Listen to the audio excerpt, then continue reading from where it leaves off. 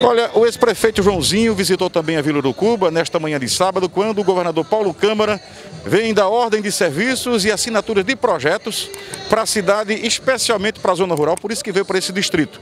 Joãozinho, a gente lembra também das ações que você esteve é, no PSB e junto com o governo. Hoje eu não sei qual é a sua andança com ele, mas você está aqui reivindicando coisas que você também indicou nessas assinaturas dele.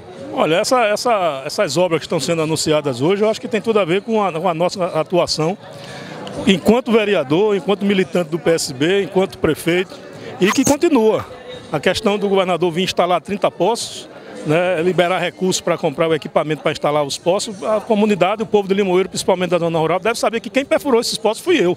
Né, ainda desde o ano de 2014, 2013, 2014, é, com recursos da, da, da, então deputada Ana Reis, mãe de Eduardo, né, com solicitação do deputado Aloysio Lessa, solicitação do governador, solicitação do, ao, ao governador Eduardo Campos e a, e a, Paulo Câmara.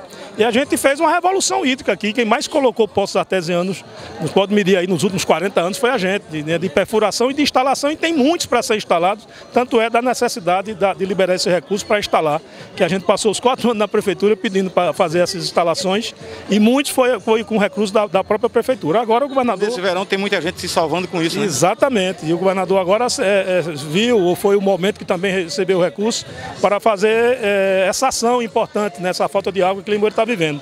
E essa estrada de Urucuba também tem tudo a ver com a gente. Né? O, o deputado Aloysio Lessa mostrou nas redes sociais uma reivindicação de 2015 onde deputados de hoje que estão dizendo que foram eles que trouxeram, nem deputado era ainda. Né? E a gente já estava despachando, né? o Paulo Câmara se reelegeu em 2014, quando eu fui candidato a estadual, e tive 12.400 votos aqui em Limoeiro. Em janeiro, fevereiro de, de, de 2015, eu estive lá com o Paulo Câmara, com o governador eleito, junto com o Aloysio. E uma das reivindicações que a gente fez foi justamente o asfalto que liga Limoeiro a Urucuba. Eram três, três pilares básicos que eu sempre falava, pedia a Eduardo como pedia a, a Paulo. A questão da água, que fosse resolvida de forma definitiva, a questão dessa estrada, Limoeiro para o Cuba, e o Distrito Industrial.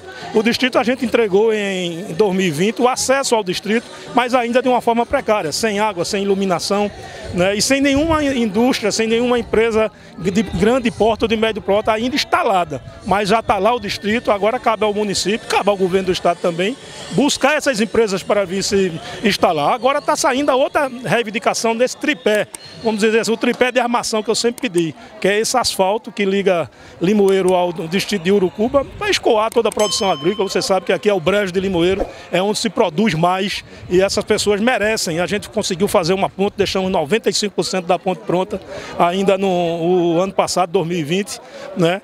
E agora vem esse asfalto. Então a gente fica feliz, se sente contemplado com isso. E o mais importante, as pessoas estão querendo, estão brigando aí para dizer que a obra é de fulano, que o pai da criança é de ciclano. Só esqueceram de uma coisa. O pai da criança se chama Paulo Câmara e o povo de Limoeiro. Por onde anda, Joãozinho?